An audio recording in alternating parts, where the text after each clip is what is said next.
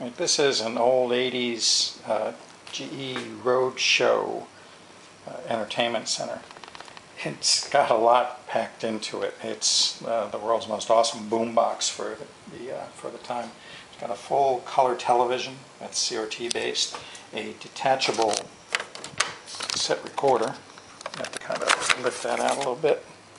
Right, That runs remote on the battery and you can record and put it back in.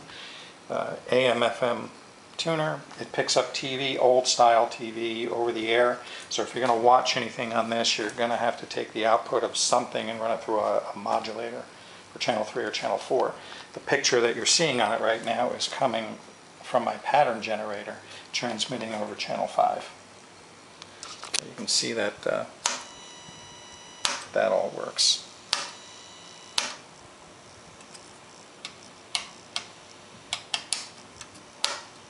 Which is kind of cool.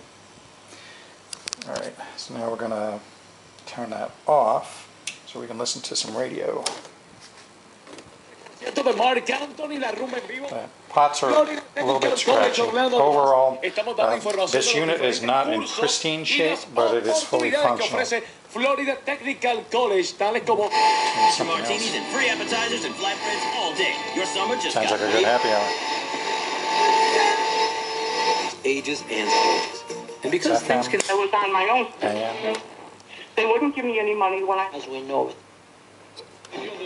1270. Not a lot happening there. Yeah, but you said.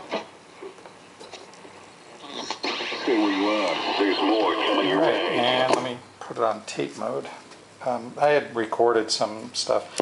The tape player definitely could use a cleaning, probably belt alignment. But then, oh, what's going on today? Not.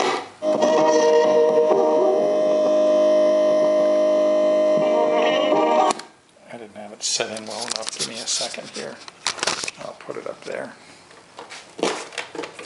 It's got these contacts on the bottom. I guess they probably need to be cleaned also.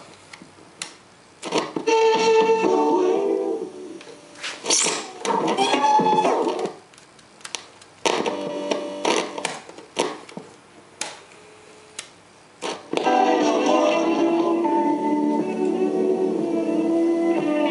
can hear that it does work, but I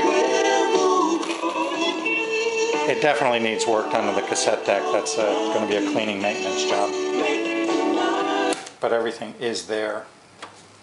Uh, to tune the channels in on the TV, you would put it in the TV mode, come on, and you go over here to the side of the box.